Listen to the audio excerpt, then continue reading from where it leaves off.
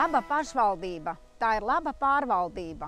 Un laba pārvaldība iet roku rokā ar labu attieksmi un labām attiecībām ar iedzīvotājiem. Mums ir jābūt godīgiem, atklātiem par notiekošajiem procesiem, informējot sabiedrību, ievērot sabiedrības intereses gan pilsētā, gan laukos dzīvojošiem, kad ik viens iedzīvotājs var justies drošs, saprasts, uzklausīts un tiek sniegti pakalpojumi. Stāstīt par plānotajiem darbiem, paveiktajiem un uzklausīt iedzīvotājus, izzināt vajadzības un plānot darbus, kuri patiešām iedzīvotājiem ir vajadzīgi.